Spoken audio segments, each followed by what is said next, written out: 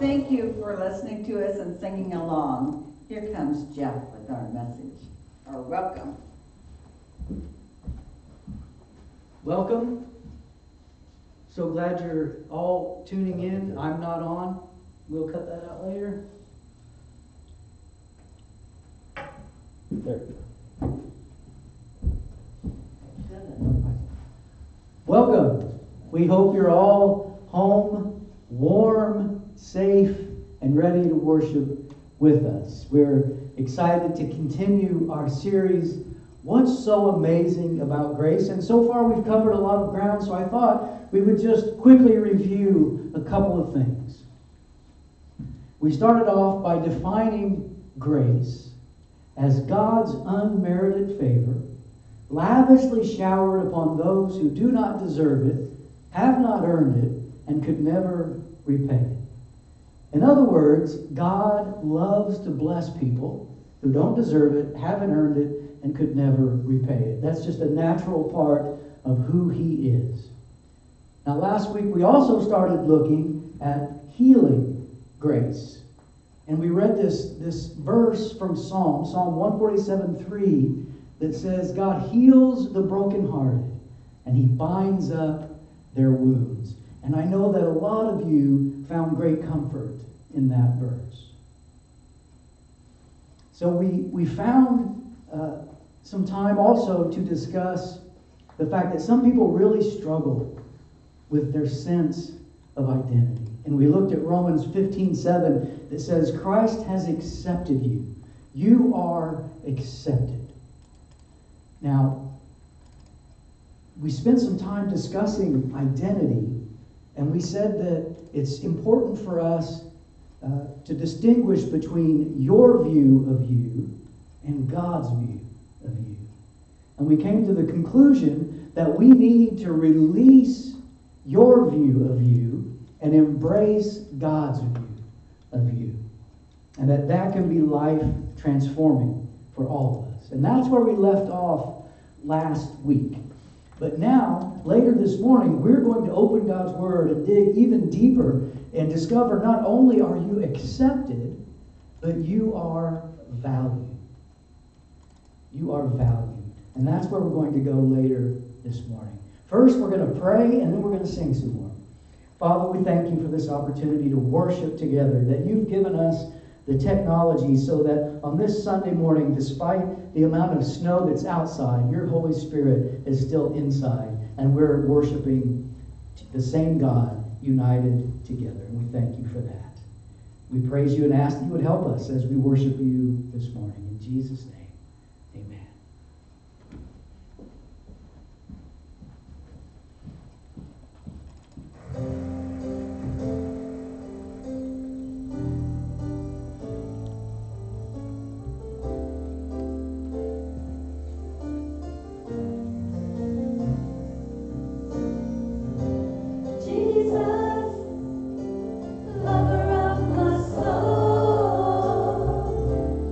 Jesus,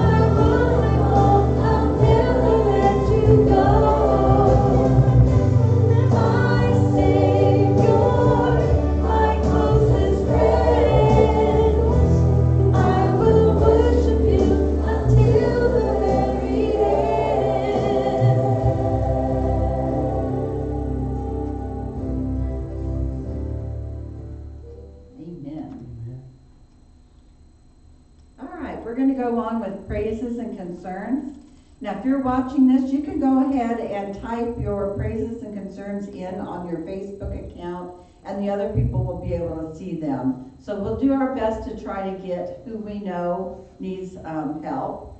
And uh, we, God knows who needs prayers. So if we don't catch you all, then you know that God's still praying for you and lifting us up. So um, we know that Carolyn Donaldson's been having some leg issues, so let's lift her back up.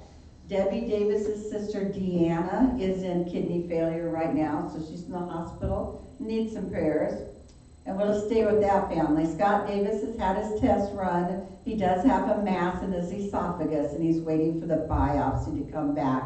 But he does have a doctor's appointment next Wednesday, so we can hopefully get some, um, figure out what type of procedure we'll need to take care of this. So pray for Scott and Steph and the kids.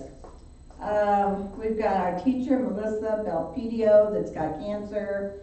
Uh, Sandy Rogers is waiting for a second hip surgery. We have, um, let's see, Allie Schaffner's grandfather is having complications from the COVID. He has pneumonia, so prayers for him. He's been sick for a long time, and uh, we just pray for him to get his strength back and, and healing to take him. And we've got prayers for Jim uh, Wagner, still recovering from the blood clots in his lungs. Um, we lift up Link Townsend, suffering from cancer, and Paul's mother, Melody, also um, having cancer and getting some diagnosed, and Eric Armstrong. And I'm sure there are many more that we have. We have a whole list here. Um, also, we want to lift up Tammy Roser's mother, and that is Judy DeVries' daughter-in-law's mother passed away this week. So prayers for all of them too. Um, I think that's probably, we don't have anything else that I know of, so, um, we'll have Pastor Jeff come up.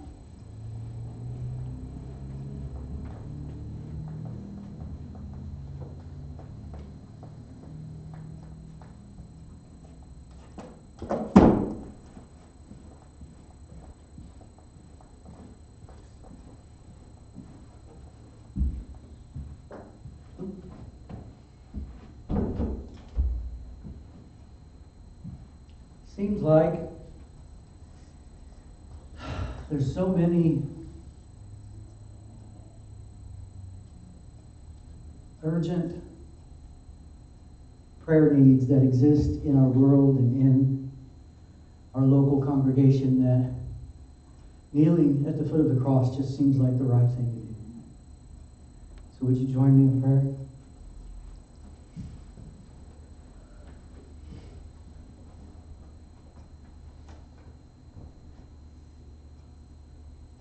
Our Father in heaven, we come to you uh, fully aware that the many prayer requests that were spoken this morning are in reality a small portion of those that are represented by our congregation.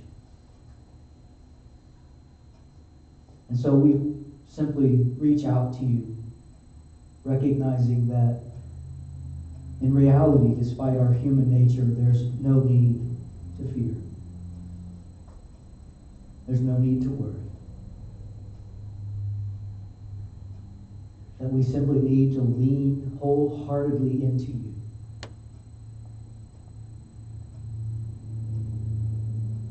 Lord, we pray for every single request, both those that were spoken aloud and those that, that are hidden deep within our hearts, and we just simply confidently bring them to you, knowing that you will provide, you will heal, you will strengthen and encourage and uplift. At the same time, Father, you would help us, we pray that you would help us in our humanness, in our human nature that, that, that does fear and experience anxiety and worry. And we pray that you would increase our faith through the reading of your word, through communing with other believers, and the other ways that you provide us to grow stronger. Thank you, Father, for reminding us in this moment that we are not alone. And we praise you for the healing and the victories that will come as a result of our faithful prayers and submission to you. We pray all of this in our Savior's name, Jesus Christ. Amen. Amen.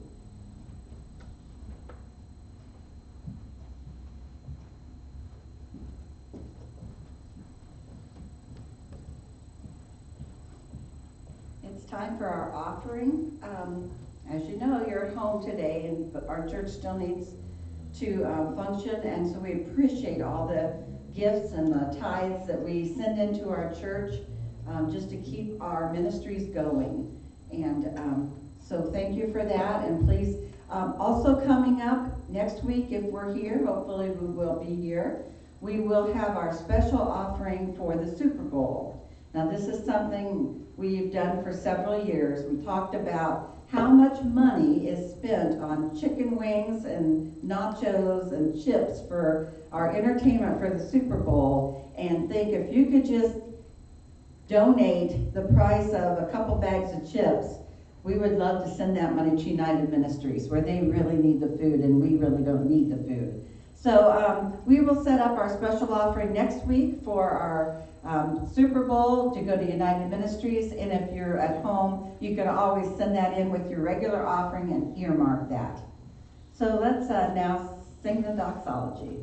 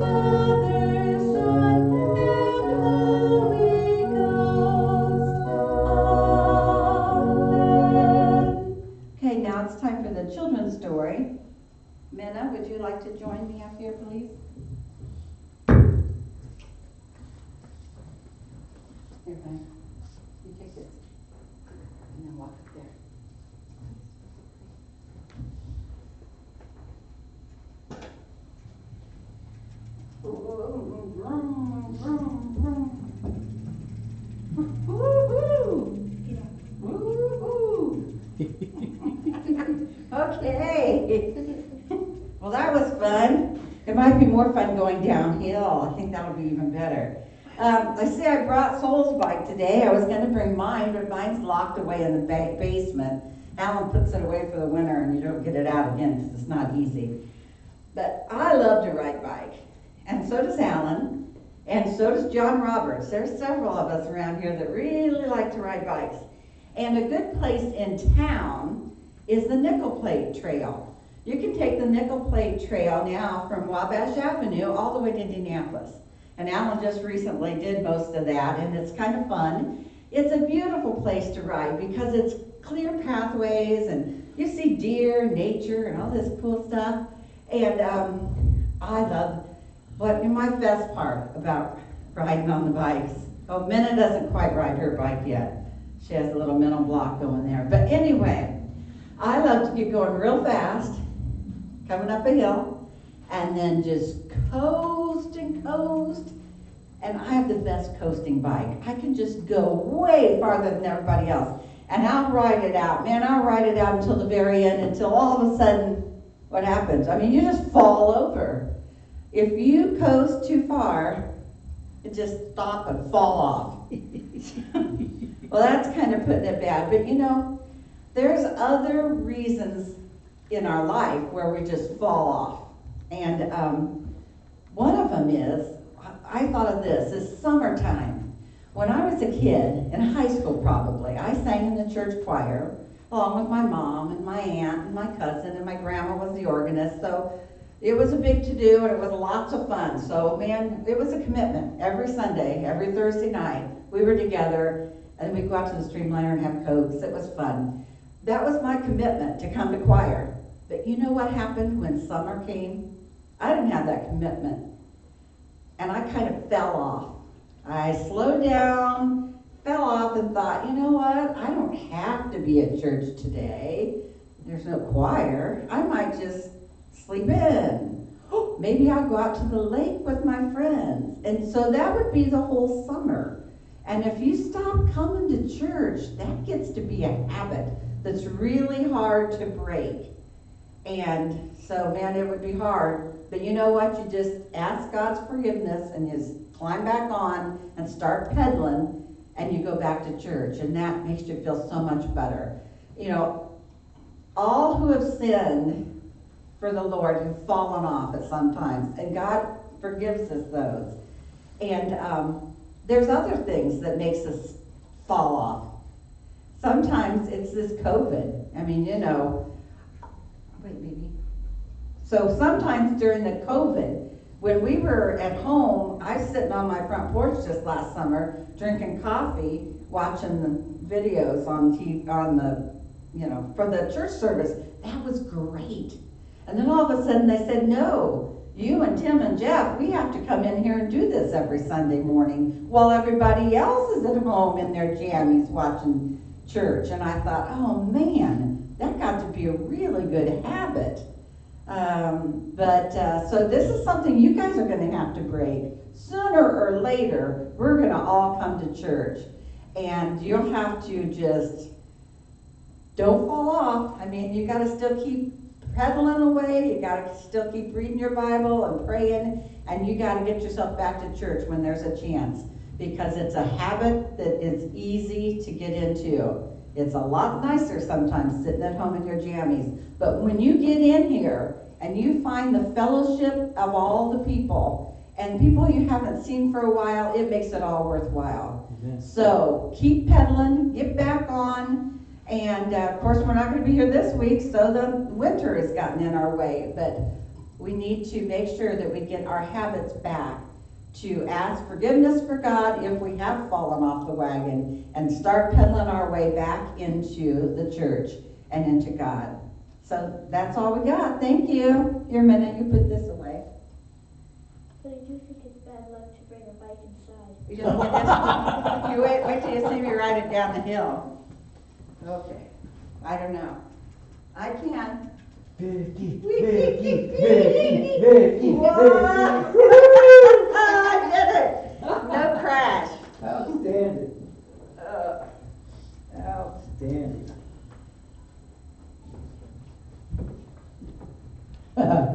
That was awesome. There are many times, many times that Vicky does her children's sermon, and I think, well, there's really no reason for me to speak now. oh, goodness, let's pray. Father, we thank you once again that you have given us this, this amazing gift of worship, this amazing gift of communing together with the Almighty. And we just simply thank you for that. Help us to tune in to you this morning. In Jesus' name, amen. Well, in, in seminary, I learned about a man by the name of Fred Craddock. And he is a very well known, very well respected uh, preaching teacher, preaching professor. And I just recently discovered a true story that he told. That he, Fred Craddock says that he was vacationing in Gatlinburg, Tennessee with his wife. And they were seated in this little cafe, uh, and, a, and an older gentleman came up to them and asked them, So, how are you folks doing? Are you having a good time? Are you on vacation? And Professor Craddock said to the man, Yes, we're on vacation, and yes, we're having a good time. And the older gentleman replied, Well, what do you do for a living? And Professor Craddock, just really honestly wanting to be left alone, declared, Well, I am a professor of preaching. And to be honest, the only reason he was that forthcoming with his profession was because he thought a title like that would surely drive away the unwelcome visitor. It did not. He said, Oh, you're a preacher. Let me tell you a preacher story. And he went over and pulled up a chair, and before anybody could protest, he started telling his story. And his story began in a rather unusual way. He said, I was born an illegitimate child. He said, I never knew who my father was, and that was very hard. He went on to say that the boys at my school always made fun of me. They pushed me around. They called me horrible names. And every day when I'd walk down the street, I always felt like people were staring at me and asking that terrible question. I wonder, who's the father of that little boy? He said, So I spent a lot of time by myself. I didn't have any friends. He went on to say that one day a new preacher came to town and everybody was talking about what a great preacher this guy was. And he said, I had never been to church before in my life, but one Sunday I decided I would go and hear this new guy preach. And lo and behold, it was true. This guy was an amazing preacher, so he kept going back. He said, but every Sunday I would purposefully arrive late and leave early so that he would not have to talk to anyone. But then it happened. He said, One Sunday I got so caught up in the preacher's message that I forgot to leave. And before I knew what was happening, he had said the closing prayer, the service was over, and I was trapped. He said, I got I tried desperately to get out of the church, but the people had already filled the aisles and escape was impossible. He said, I began to contemplate sneaking out the back room or the back window when suddenly I felt a very heavy hand on my shoulder. He said, when I turned and looked up, that big, tall preacher was towering over me, looking down at me and asking, What's your name, boy? Whose family are you? Whose son are you? He said, When I heard that last question, I began to shake all over. But before I could say a word, that big old preacher smiled from ear to ear, and he said, Why? I know who your family is. I know whose son you are. There's a distinct family resemblance. Why, you are a son of God. Now, after having finished his story, this old gentleman looked at Mr. Craddock in the eyes and he said, You know, mister, those simple words changed my life forever. With that, he got up and quietly strolled out of the restaurant. And before the door could even close behind him, their waitress rushed over to them and said, Wow, do you know who that was? No, we have no idea.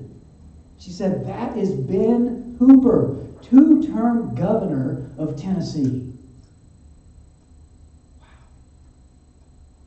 You see, a man learned to see himself the way God sees him. He learned whose he was. He's God's child. And it transformed his sense of identity and changed his life forever. See, when you discover whose you are, your sense of who you are is clarified. So essentially, what we're talking about is this idea of identity. Identity. And the truth is, some people really struggle with this idea of identity. They have this idea that God is always mad at them, that He's always saying things like, you know, you're just not quite good enough.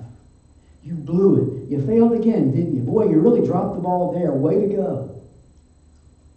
Now, friends, I really want you to know if that's the voice that you're hearing, that is not God. What you are likely hearing is an old tape in the back of your mind from an imperfect person in your past, and you are listening to the wrong voice. And when you listen to the wrong voice, what sounds right is often wrong.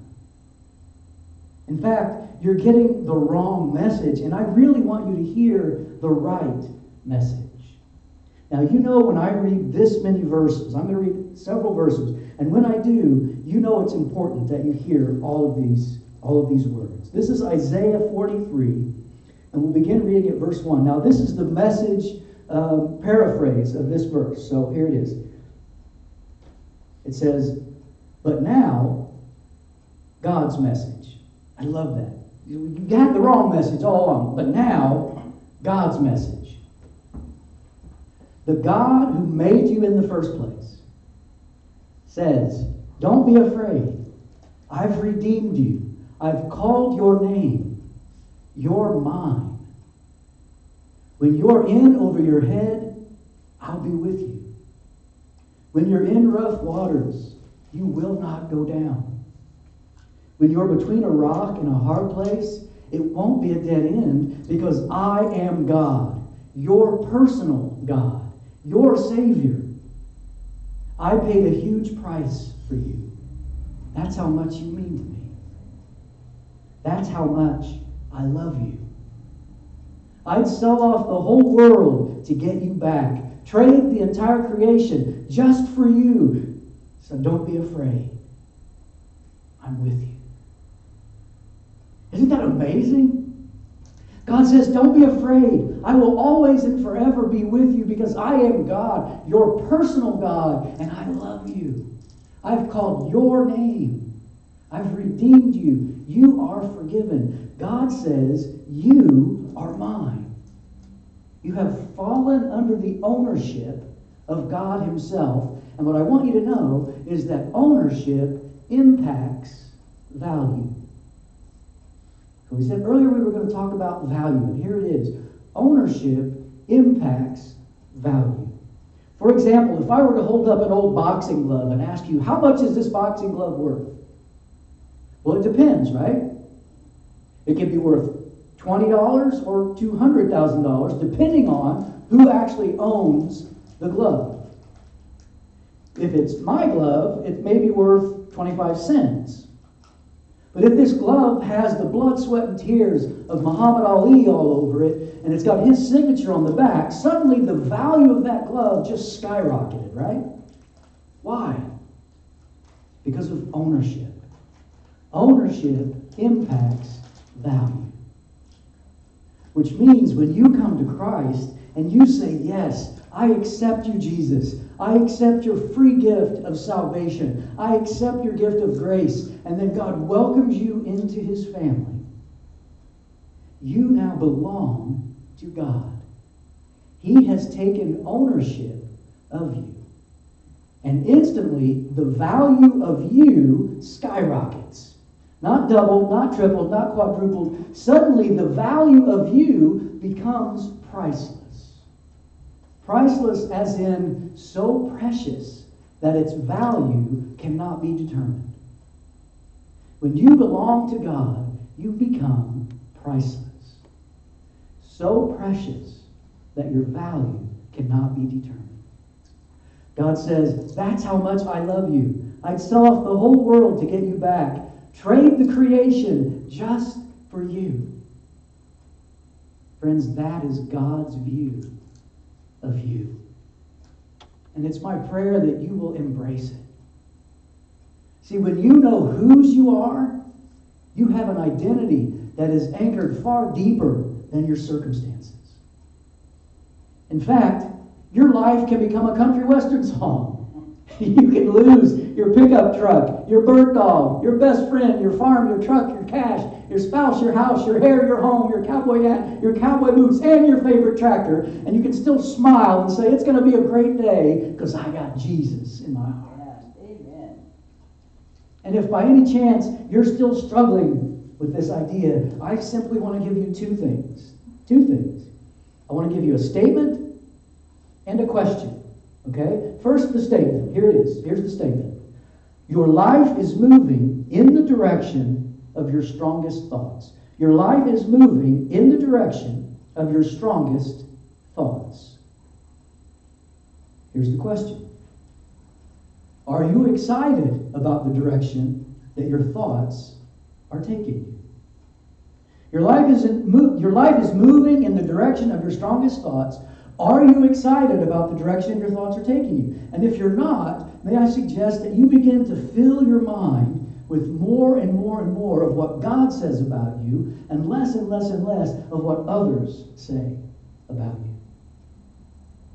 Your life is moving in the direction of your strongest thoughts, so we need to start listening to God's truth and allow God's truth to become the strongest voice in our lives.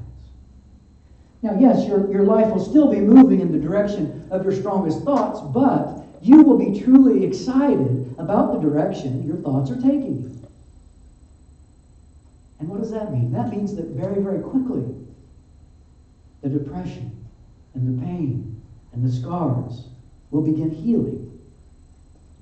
But it all starts when you fill your mind with God's truth. Say, well, give me some examples. Help me out here, Pastor. Let me give you a couple. Man may reject me, but my God never will. I am loved by God Himself. Jesus is first in my life, and I exist to glorify Him. I have everything I need to do everything God calls me to do. I am strong and mighty. I have the same power that raised Christ from the dead dwelling inside of me. I am a weapon of righteousness in a world of darkness. I am driven, focused, and blessed beyond measure because the Holy Spirit dwells within me. I'm anointed, empowered, equipped, and called to reach people for God. The world will be different and better because I serve Jesus today. I am not my past. I am not what I did. I am who God says I am. I am accepted. I am valued. I am forgiven, redeemed, loved, and set free. Friends, that is God's view of you.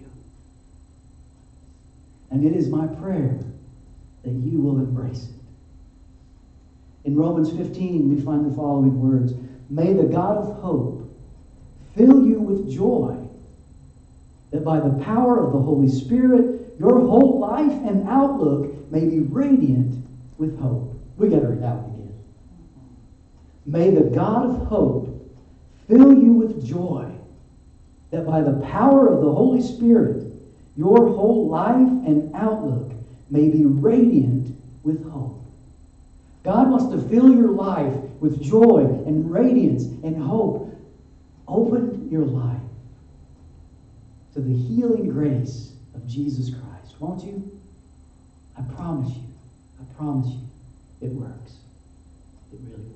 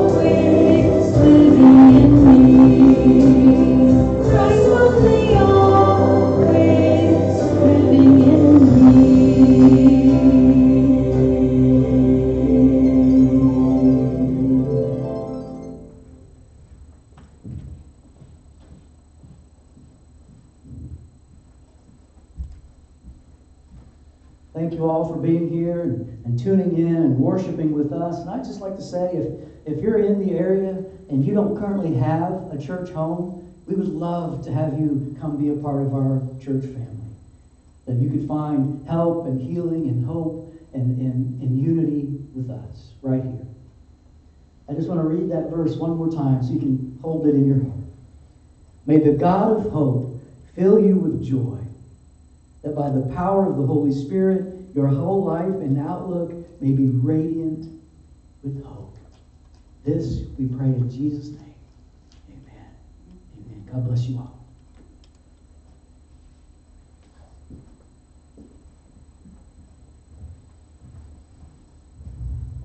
That was another great service. Thank you, Jeff.